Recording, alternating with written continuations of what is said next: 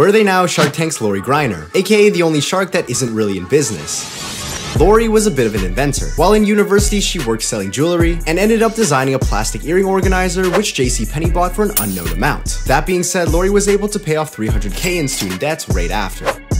From there, she'd go on to continue to invent and design products and selling them on TV. She experienced success with her own show, Clever and Unique Creations, wrote a book called Invent It, Sell It, Bank It, and in 2012 became a shark on Shark Tank. Now in 2022, it's safe to say that she's the most successful investor on the show. With Scrub Daddy 209 million in sales, Squatty Potty 168 million in sales, and the most interesting thing about Lori's success is she doesn't really own any one business.